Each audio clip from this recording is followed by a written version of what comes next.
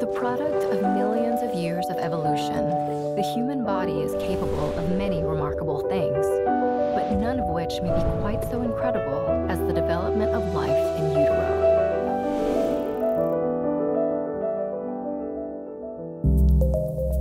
Over 3 million babies are born each year in the United States alone.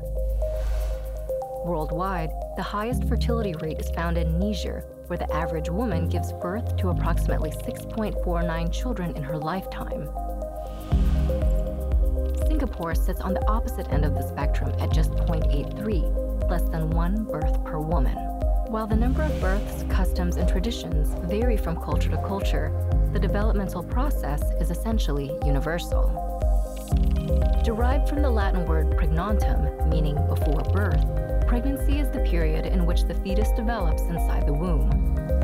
Typically lasting around 40 weeks, human pregnancies are divided into three trimesters of three months each.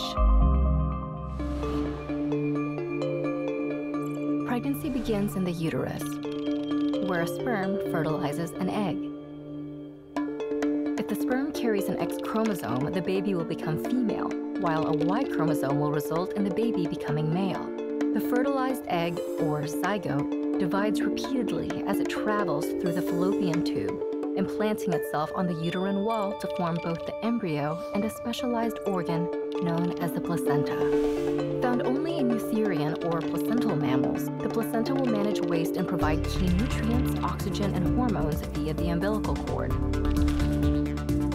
brain, which will continue to grow and develop throughout the pregnancy, makes up nearly half of the embryo in these early stages.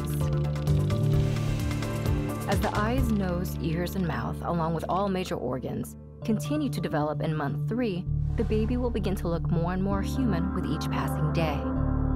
The second trimester lasts from weeks 13 to 27. The fetus will more than double in size during this time, and soon its movements may be felt by the mother.